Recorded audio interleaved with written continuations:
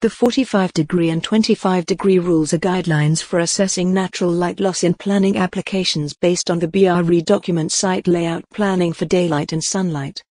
The 45 degree angle rule in the BRE Daylight and Sunlight Guidance document is used to assess diffuse daylight reaching a neighbor due to an extension projecting at right angles from the window under review. The guide indicates that if a window center is within the 45 degree angle, significant light may be blocked. For windows facing a new building, the BRE guide uses a 25 degree angle rule. If the angle is below 25 degrees for the entire development, it's unlikely to affect existing diffuse daylight. If it exceeds 25 degrees in any part, further assessment is necessary.